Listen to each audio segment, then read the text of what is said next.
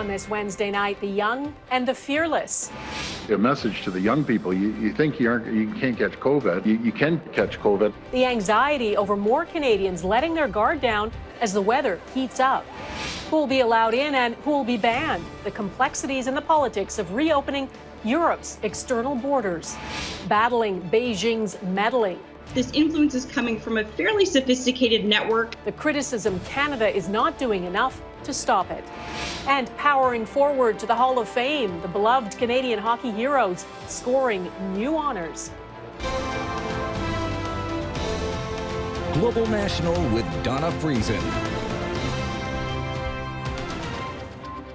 Good evening and thanks for joining us. More regions of this country are easing up on public health restrictions and allowing people more freedom to get together. The four Atlantic provinces have agreed to a so called Atlantic bubble. Starting July 3rd, residents will be allowed to travel between Nova Scotia, New Brunswick, Prince Edward Island, and Newfoundland and Labrador without having to self isolate for two weeks when they cross a provincial boundary.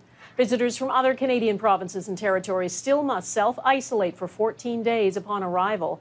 In Ontario, businesses in Toronto and the Peel region have the green light to move to the next phase. That means businesses like restaurant patios, hair salons, pools, and indoor malls can reopen. And BC has moved into a much anticipated phase three. More on that in just a moment. This is all happening as an alarming trend begins to emerge in some places. In Ontario, there's been a surge in COVID 19 cases in people under the age of 20.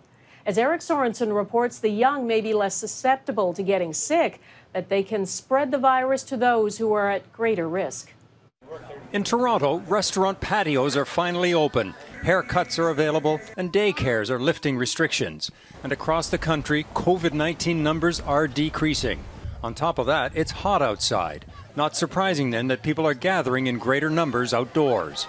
But the virus is still with us. The elderly know that. I'm 80, almost 80 years old, so I gotta be careful. Young people, however, may be letting their guard down as they socialize more. It's probably not ideal, but also, I mean, I know I personally don't have AC, and it's like 33 degrees today, so I'm not interested in being anywhere else really. Toronto beaches were filled last weekend with young people. Ontario's premier is worried about them. I'm going to give you a message to the young people. You, you think you aren't, you can't catch COVID.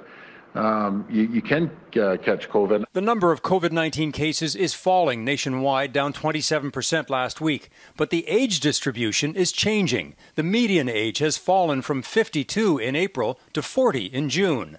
The share of cases among adults aged 30 to 59 has remained consistent over time, but while Canadians 60 and over comprised 36% of the cases early in the outbreak, that fell to 23% by last week, while the share among young people up to age 29 has expanded from 19 to 32% over several weeks. The great outdoors can alleviate the spread, but an active virus this summer could be a springboard to a second wave. We should enjoy the summer while we can because when the fall comes, there's a real concern that things will start to heat up again. And if young people are indifferent to the spread, epidemiologists worry they'll be a source of increased transmission. Young people, though they're less likely to have a serious reaction to this disease, are highly likely to spread it to those who will have a bad reaction. It's one thing to be non or less vulnerable, but what, that comes with responsibilities. That means protecting those who are more vulnerable. And there is a blunt warning to young people and others if they widen the spread of the virus. Ontario's premier says he'll move to shut down the beaches this summer. Eric Sorensen, Global News, Toronto part of one region of Ontario is still stuck in stage one of the reopening plan. Windsor, Essex, across the river from Detroit, has more than 1,300 cases of COVID 19, including several outbreaks on farms. Premier Ford says most of the region will move to phase two tomorrow, with the exception of Leamington and Kingsville. To reduce transmission on farms there, there's a plan to expand on site testing with a guarantee no workers will lose their jobs if they test positive access to employment benefits and support, and new guidance to allow asymptomatic workers to keep working safely without passing the virus on. British Columbia is transitioning to phase three of its reopening plan. BC residents are now clear to travel throughout the province. There was never an official ban, but people were asked to avoid unnecessary travel. Provincial parks and campgrounds are reopening, and more hotels are expected to as well. British Columbians are encouraged to take staycations this summer to support the tourism and hospitality industries, though the public health officer says precautions need to continue to prevent the spread of COVID 19. South of BC in Washington state, there's been a spike in new cases, and wearing masks in public is now mandatory. Failure to wear one is a crime. More than 4,000 people in that state are in the hospital now with COVID 19, and one hospital near Seattle has run out of beds. The situation is worse in some other states. As Jennifer Johnson reports, the rate of new infection is surging back to where it was in April.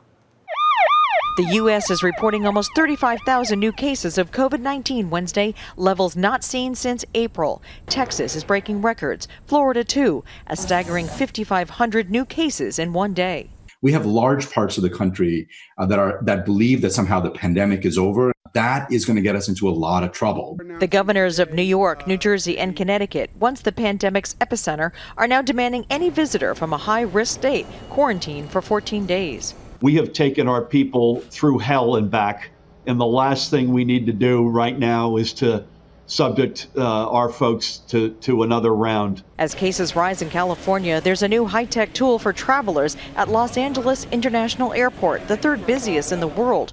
Thermal imaging cameras checking temperatures. I think it's necessary, 100%. Rates are spiking in Arizona too, where U.S. President Donald Trump rallied young Republicans at a Phoenix megachurch, again using a racist name for the virus. Kung flu, yeah. Next month, the federal government begins testing of what it says is its most promising vaccine. A thousand people in Chicago volunteering to get it. It could be the beginning of the end of this god awful pandemic. The vaccine is one of several in the works worldwide, but the virus is showing no signs of slowing down. And experts fear protests earlier this month and the busy July 4th holiday will keep cases surging. Jennifer Johnson, Global News, Washington. The European Union is expected to decide this week how it will relax travel restrictions to Europe, allowing people from some non European countries to visit this summer. Some countries may not make the safe list, though. Brazil, Russia, and the United States could remain banned. Redmond Shannon is in London to explain why it's far from a straightforward decision for European leaders. Redmond? Donna, anyone looking to travel from Canada to the UK right now is obligated to self isolate for 14 days. But there are almost no options for anyone looking to travel from Canada to the European Union, the bloc that the UK left back in January. However, come July 1st, at the height of the tourist season, most of the EU could reopen its external borders. The tricky decision for leaders there will be which countries should they leave off the approved visitors list. EU nations are haggling over what criteria to use. They are reportedly going to look at the total number of new cases per capita in the past two weeks. That's likely good news for people coming from Canada, but not for those from south of the border. US Secretary of State Mike Pompeo was asked for his reaction to the reports that travelers from the United States would still be banned. Uh, we certainly don't want to reopen a play that jeopardizes the United States from uh, people traveling here, and we certainly don't want to cause problems anyplace else. I'm, I'm, I'm very confident in the coming weeks uh, we'll figure that out as between not only the United States and the EU, uh, but the United States and other parts of the world too. Of course, the number of cases in a country can often be low because of a low level of testing or because of unreliable data. And that will make this a political decision as much as a safety one. Ottawa could also be faced with deciding whether to return the favour to EU countries. Some of them have much higher infection rates than Canada. The EU may announce the so called safe list of countries later this week, along with the measures that travellers will have to take when arriving. Donna? All right, Redmond Shannon in London, thank you. The International Monetary Fund says the decline in global growth is worse than forecast. It now predicts the global economy will shrink 4.9% this year. That's significantly worse than the 3% drop it predicted in April. It would be the worst annual contraction since immediately after the Second World War. The IMF estimates Canada's GDP will decline by 8.4% in 2020, and that's a 2.2% steeper drop than forecast two months ago. The IMF does expect a rebound next year, as long as there isn't a big second wave of COVID 19. Another risk to Canada's future, according to a national security review, is interference from China. An analysis by Global News of the report found Canada is doing little to combat increasingly aggressive attempts by foreign countries, notably China, who seek to interfere in Canada and influence political and business leaders. Even a perception of influence is now under scrutiny.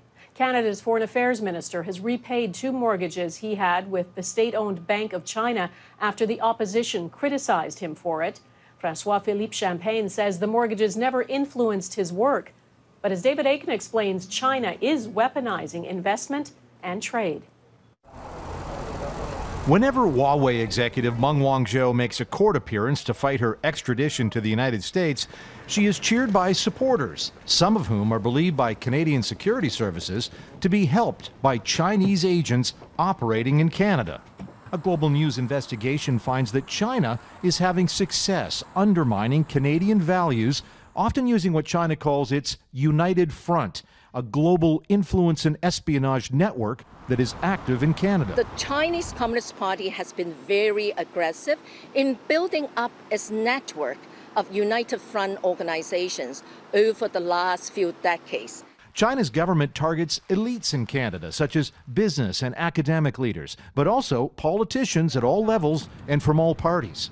Sometimes they'll be offered sweet business deals, free or assisted travel to China, and other benefits. This influence is coming from a fairly sophisticated network of activists, uh, diplomats, as well as uh, institutions and organizations here in Canada. China's goal? Intelligence experts say it's to get Canadian influencers to advocate for Chinese government policy in Canada. Canadian security officials have been warning about this pernicious and dangerous kind of influence for more than a decade. The recently released national security assessments indicate Canada is doing little to counter these incursions by the Chinese government. There is work to be done the Canadian Security Intelligence Service told the all party National Security and Intelligence Committee CSIS has assessed that Canada is an attractive and permissive target. That all party parliamentary committee has put about 10 recommendations in front of the Trudeau government that it believes can stop or slow Chinese government influence in Canada. Donna? David Akin, thanks. The huge plume of dust over the Caribbean coming up where the dust storm comes from and where it's headed. Plus, the makers of a popular herbicide settle a multi billion dollar lawsuit.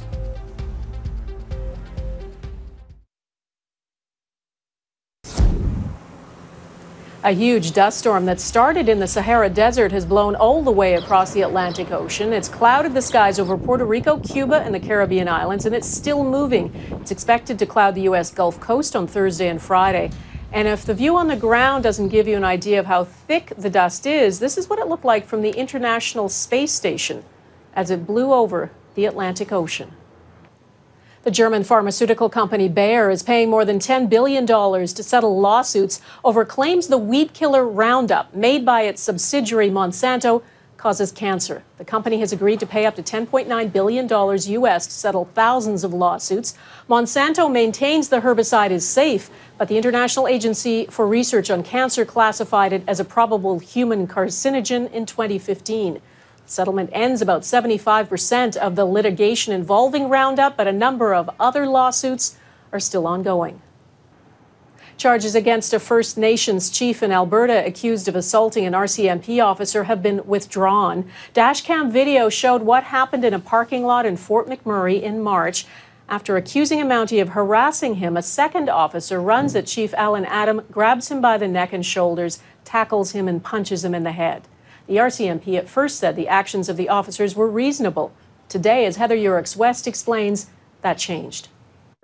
Chief Allan Adam is relieved. I'm overwhelmed of the fact that the charges have been drawn because, you know, we knew, my wife and I knew that we didn't do nothing wrong. Images of his March arrest were captured by RCMP dash cam. The 12 minute long video shows RCMP officers approaching Adam's truck. Its license plate was expired. Adam, who was not driving, tells the officers twice to go away. When an officer goes to speak with Adam, the chief comes out of the truck, taking off his jacket. He's told to calm down and get back in the truck. When he does, the officer grabs Adam's wife by the arm. An officer can be seen grabbing Adam's arm and appears to be trying to put it behind his back. That's when a second officer runs in, tackling Adam, punching him, and putting him in a chokehold. Adam was later charged with resisting arrest and assaulting a police officer. But after reviewing the evidence, both charges were withdrawn. The Attorney General's decision today validates Chief Adams' view that the RCMP charges were laid as a police shield to their aggressive and abusive conduct, not a true belief that criminal activity had occurred. The Alberta Serious Incident Response Team, an independent body that looks into allegations of police misconduct, is investigating whether RCMP members did anything wrong. That investigation was launched earlier this month after Chief Adam went public with his experience. But he, along with the Assembly of First Nation Regional Chief, say more needs to be done to change how Indigenous people are policed. If the RCMP are going to treat our, treater, our leaders like this, if they're going to treat a chief like this, what are they getting away with doing to our own citizens? Police need to be accountable to the people they serve. ASIRT says its investigation will continue if that investigation finds RCMP members were not justified in the level of force used against Adam, criminal charges could be laid. Heather Yourex West, Global News, Calgary. In the U.S., three men have been indicted on murder charges in the death of Ahmaud Arbery, a young unarmed black man who was shot and killed in Georgia. Three white men, Gregory McMichael, a former police officer, and his son, along with William Bryan, have been indicted on malice and felony murder charges in Arbery's death. The 25 year old was shot and killed on February 23rd in Georgia. In May, video was released showing what happened. McMichael told police he believed Arbery was a burglar Arbery's family says he was just out for a run. Still ahead, the footage fueling calls to change who responds to 911 calls. An RCMP officer in BC has been placed on desk duty, and two investigations and a lawsuit are underway. It all relates to what happened during what was supposed to be a wellness check on a young woman in Kelowna. Wellness checks and how they are handled are under scrutiny in this country. Abigail Bimman takes a look at what they are and whether who responds needs to change. And a warning some of what you're about to see may be disturbing. Dragged down the hall in a sports bra, when Mona Wang lifts up her head, you see the RCMP officer drop down her foot, then later pulls her by the hair. I don't know why she kicked my head down in the first place. I think I was just asking her a question and I was on the floor already, so why does she feel the need to kick me when I'm already down? In court documents, the RCMP say the use of force was more than reasonable and necessary. Wang's boyfriend had called 911 saying she was in mental distress, and this is just the latest example of a call like that with a disturbing outcome. Ejaz Choudry was killed by police this past weekend. It was immoral and wrong. In New Brunswick, the deaths of Chantal Moore and Rodney Levi all tied to mental health concerns. The Center for Addiction and Mental Health is now calling for mental health specialists to respond to mental health crises, not police officers. If you had chest pain at the end of today, God forbid, you'd want somebody with medical training to help you out, not a police officer. Criminologist Jennifer Lavoie is developing training for police around mental health, training she says is badly needed. A regular constable is going to have to know how to respond to a mental health call because they they will happen in ways that maybe are unexpected like check well-being a traffic stop a domestic situation a trespass call. Many police forces already work alongside mental health specialists in mobile crisis units. The head of the canadian police association says there aren't enough of them. And the findings of all of those examinations are we need more capacity uh, in the community to deal with mental health issues. So we support that. But I don't think this is an either or proposition. He says of the 13 million calls police get a year, fewer than 1% involve use of force. At 3 o'clock in the morning, when somebody's wielding a knife and they're suffering from a mental health crisis, that is not the time to bring in mental health practitioners. It's time for the RCMP to go in, get that person calm, get them to a place of safety, and get them the help they need. The head of the RCMP pushed back against the idea of defunding police, rather funding more services alongside it. Abigail Bimman, Global News, Ottawa. Scooter sign off a trademark two wheeler hits a wall.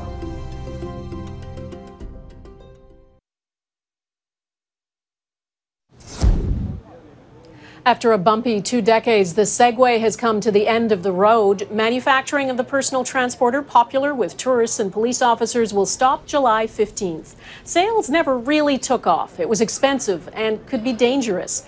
In 2010, the company owner died after driving one off a cliff. Former Calgary Flame star Jarome Iginla and five others are riding high tonight. They've just been voted into the Hockey Hall of Fame. Congratulations, Jarome. Iginla was one of the NHL's most dominant power forwards for more than a decade. Born near St. Albert, Alberta, Iginla made his NHL debut in 1995 when he was drafted by Dallas before being signed by the Flames a year later. Iginla quickly stole the hearts of many fans in Calgary, leading the team's scoring for 11 of the 15 seasons he was there. He ended his career with 625 NHL goals. The Edmonton, Alberta native recorded 1,300 points in 1,554 NHL regular season games. Jarome Iginla was just as big a star off the ice, giving much of his personal time to the community and to charities. Five other players were also inducted into the Hall of Fame today, including fellow Canadians Kevin Lowe, who played for the Edmonton Oilers alongside Wayne Gretzky back in the team's glory days, and three time Olympic gold medalist Kim St. Pierre. And that is Global National for this Wednesday. I'm Donna Friesen. Tonight's Your Canada is Bird River, Manitoba, northeast of Winnipeg. Beautiful sunset. We'd love to see your Canada. Please email it to viewers at globalnational.com. Thanks for watching, and I hope to see you here again tomorrow. Take care of yourselves. Bye bye.